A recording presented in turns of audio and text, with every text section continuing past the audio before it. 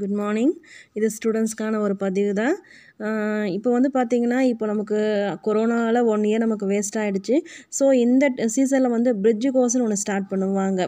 So இது வந்து என்ன சொல்லுவாங்கன்னா தமிழில் இணைப்பு பயிற்சி அல்லது வலுவூட்ட பயிற்சி அப்படின்வாங்க நம்ம நெக்ஸ்ட்டு கிளாஸ்க்கு போகிறதுக்கு ப்ராப்பரான ஒரு பேசிக்ஸ் வந்து எப்போவுமே பார்த்திங்கன்னா அது நார்மலான டைமில் கூட என்ன செய்வாங்கன்னா இந்த மாதிரி ஒரு ட்ரைனிங் கொடுத்துட்டு நம்மளோட ஸ்கில்ஸ் எல்லாம் டெவலப் பண்ணதுக்கப்புறமா நெக்ஸ்ட்டு வந்து நமக்கு வந்து நெக்ஸ்ட்டு ப்ரொமோ ப்ரமோட் பண்ணுறதுக்கான ஒரு இது தான் இது.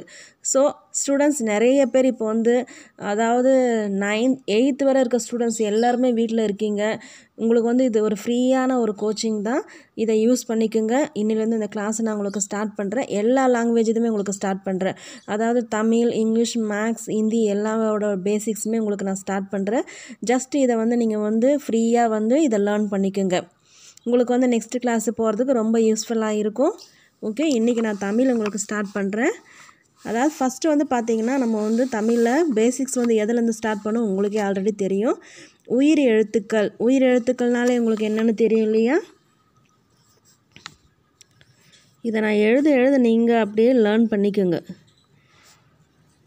ஏன்னா இது வந்து குட்டி பிள்ளைங்கள தான் நம்ம ஸ்டார்ட் பண்ணிக்கலாம். எப்போவுமே எதை ஒன்று ஸ்டார்ட் பண்ணாலுமே இதை தான் நம்ம ஸ்டார்ட் பண்ணிட்டு தான் நெக்ஸ்ட்டு நம்ம மூவ் ஆகும்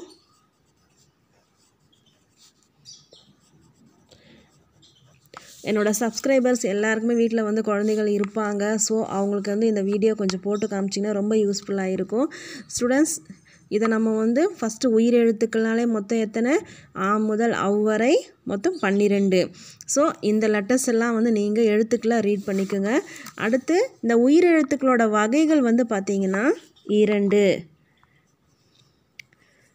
இரண்டு ஸோ அந்த இரண்டு வகைகள் வந்து நமக்கு வந்து என்ன சொல்லுவாங்கன்னா உயிரெழுத்துக்கள் வந்து நமக்கு இரண்டு கண்களை போன்றது அப்படின்னு சொல்லுவாங்க. அதில் வந்து பார்த்திங்கன்னா உயிர் குரில் உயிர் நெடில் உயிர் குரில் மொத்தம் எத்தனைன்னா ஐந்து எழுத்துக்கள். அதை தான் உங்களுக்கு எழுதியிருக்கிறேன். இதை எழுதுகிறப்போ உங்களுக்கு எல்லா சவுண்டுமே பார்த்திங்கன்னா கீழ் நோக்கி தான் வரணும்.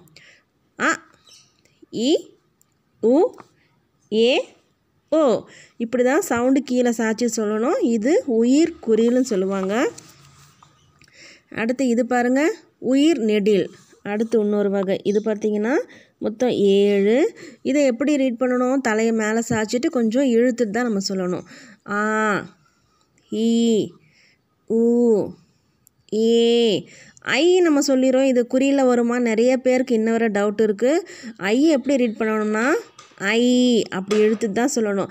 ஸோ ஓசைகள் நீண்டு இருக்கிறத வந்து என்ன சொல்லுவாங்க உயிர் நெடில் எழுத்துக்கள். இது ஓ ஆவ். ஸோ இந்த ஏழு எழுத்துக்களுமே உயிர் நெடில் எழுத்துக்கள். இப்படி ஸ்டெப் பை ஸ்டெப்பாக ஒவ்வொரு நாளும் ஒவ்வொன்றும் தெரிஞ்சுக்குங்க. இன்றைக்கி வந்து நான் உயிர் எழுத்துக்களை பட் அதை மட்டுமே நான் உங்களுக்கு சொல்கிறேன் ஒரு ஒரு நான் கிளாஸில் ஒவ்வொன்று போதும். அடுத்து ஃபைனலாக நம்ம என்ன செய்கிறோம்னா இப்போ உங்களுக்கு உயிர் எழுத்துக்கள் தெரிஞ்சிடுச்சு.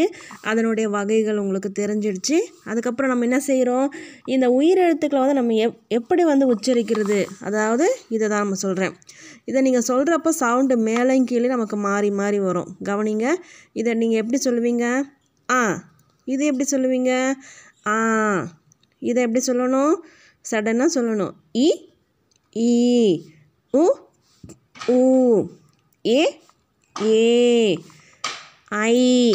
இதுவும் நெடியில் தான் வரும்.